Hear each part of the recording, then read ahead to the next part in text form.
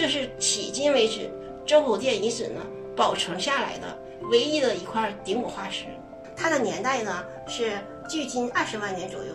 它的演化地位呢是位于直立人和早期现代人之间。这些顶骨化石的发现呢，可以使我们了解呢，在近百万年来，周口店古人类呢它的体质特征的一个演化的一个过程。为探讨东亚地区乃至世界人类的演化呢，提供了非常重要的标本材料。